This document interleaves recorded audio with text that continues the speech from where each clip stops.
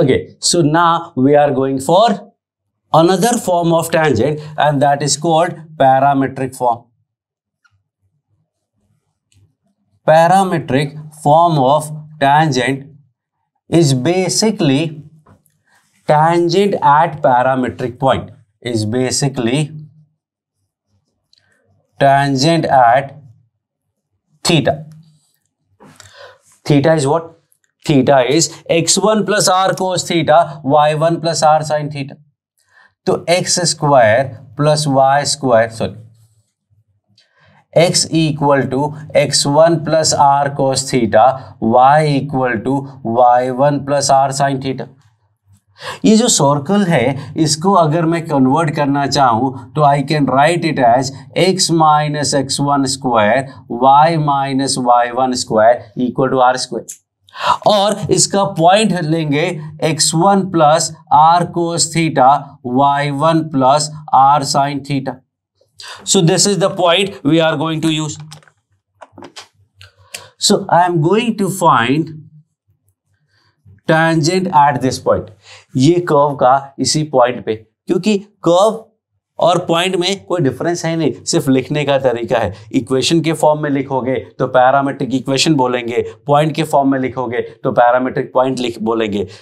Equation वैसे भी मैंने बोला हुआ है it is not of any use लेकिन point is of too much use so tangent का equation t equal to zero से आ जाएगा। एक्स माइनस एक्स वन का होल स्क्वायर है। तो x minus x minus x1 this minus x x1 and this minus x1 will be r cos theta. y minus y1 into this minus y1 and this minus y1 is r sine theta. So I can say this is x minus x1 cos theta plus y minus y1 sine theta equal to r. That is your parametric form of tangent. But usually जो कुछ भी लिखा होता है whatever we define we define for standard form of circle अब standard form of circle में tangent at it will be 0 plus r cos theta 0 plus r sin theta. And that gives me x square is x x1 and y square is y y1 अगर are को cancel करेंगे तो I will get x cos theta plus y sine theta equal to r and this is called parametric form of tangent. That is for standard and this is for any circle, जिसका centre x1 y1 है. Standard और किसी भी circle में सिर्फ़ centre का difference होता है. रेडियस तो हर जगह वी आर गिवन सेंटर वहाँ ओरिजिन है, यहाँ x1 y1 है. X1 y1 को ओरिजिन रखोगे तो you will get the same thing and this is called parametric form of tangent इसका यूज़ कब करेंगे? जब पैरामेट्रिक पॉइंट गिवन होगा या रिक्वायर्ड होगा। तो if you are given a parametric point point will be able to find this tangent जैसे, x minus one whole square plus y plus two whole square equal to five square you need to find tangent at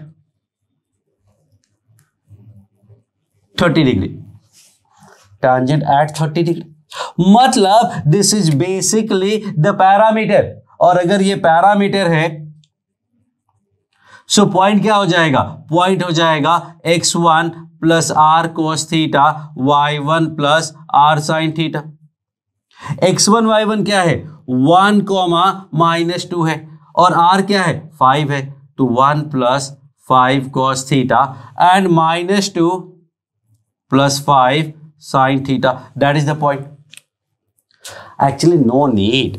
सीधा सीधा है ना अपने पास tangent will be x minus x1 into cos theta मतलब 30 degree y minus y1 मतलब y plus 2 into sin 30 degree equals to r होता है and that will be five r square नहीं होगा.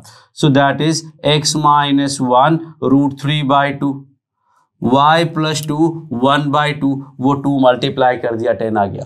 जो भी आपको सिंप्लीफाई करना है we can simplify according to the option given and will find answer so directly parametric form का एज सच कुछ बहुत ज़्यादा यूज़ नहीं है but in future in question we are going to use it so you have to know कि this is standard circle का parametric form and this is general circle का parametric form of tangent this nothing special simply tangent at the parametric point. So, I am finishing this up here only and will continue in the next video. Thank you.